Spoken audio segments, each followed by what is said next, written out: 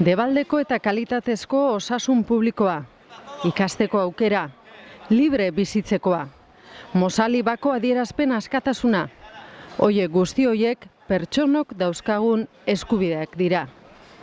Utopia dira batzuentzat, eta hala da, baina ez lortu ezin litezkelako, lortu gura ez dutelako baino.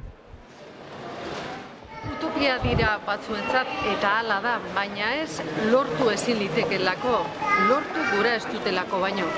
EH Bildurentzat ostera oinarri oinarrizkoa dira eskubide hoiek eta erakunde publikoen eguneroko zereginean lehentasuna izan behar dute. Politika publikoen norabidea zein den markatu behar dute.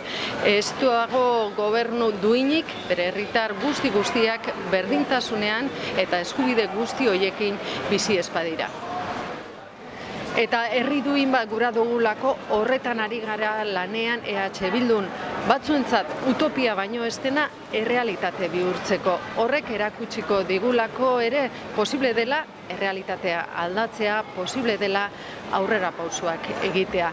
Euskal Herri aurreratua lehen mailakoa gura dugu, denok berdinak izango garen herria eskubide berdinekin biziko garen nazioa.